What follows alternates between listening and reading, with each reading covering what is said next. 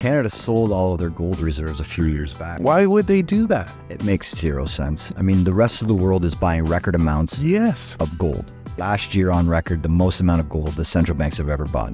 And Canada's doing the absolute opposite. They're selling their gold. They're exporting all the gold that they mine. They're not keeping anything. From an economic standpoint, from an investment standpoint, to not own any gold. Just give me more reason to hate Trudeau. The reality is, if I was the prime minister, I wouldn't.